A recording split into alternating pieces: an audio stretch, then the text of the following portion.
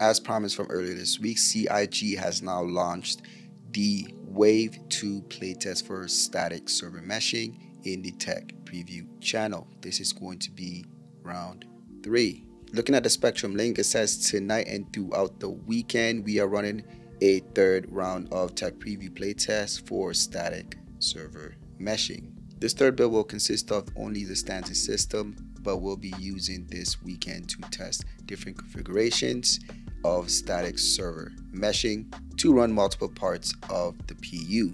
So now it says the audience is up to wave 2 testers and it's going to run from Friday right now throughout the weekend.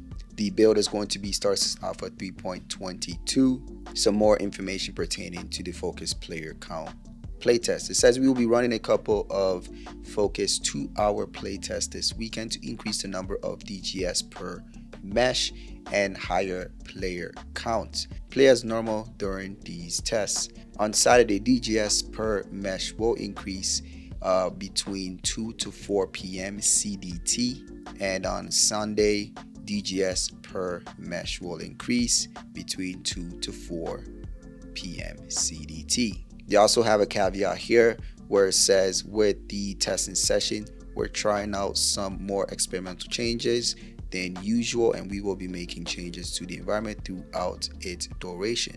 As a result, you will notice that perhaps larger than normal number of gameplay features not working correctly. At this stage, this is largely expected and teams responsible for those features are working hard to get them all server meshing ready. Meanwhile, these early tests, even in the rough state, are helping us learn about deploying server meshing at scale and gathering vital information that will help us make the long awaited arrival of server meshing the best it can be when it launches with Star Citizen Alpha 4.0.